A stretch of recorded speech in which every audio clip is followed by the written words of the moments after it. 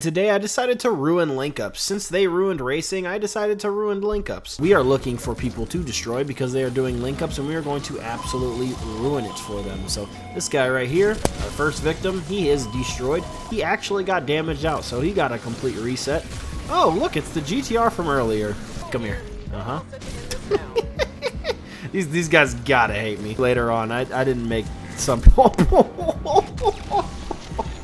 I don't know why I did so much damage to me when I killed him, but this guy's really trying to escape. He really doesn't want to die. See, for me, it's the fact that he thinks I'm a normal NPC, and like, you're not getting away from me, bud. like, let a Ford Raptor with a Bugatti motor catch you in a maxed out M3 GTR. I think you kinda deserved it. Lucky crashing into walls and stuff. Oh, he's sitting still. Oh, it's like taking candy from a baby. It's too easy. It's just too easy.